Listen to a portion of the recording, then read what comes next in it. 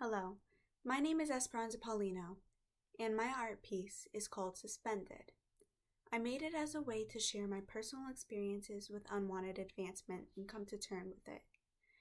This piece is meant to show one of the most common reactions to this type of advance, which is to freeze in place. This statement is for those who are out there and feel as if they've been overlooked, male or female.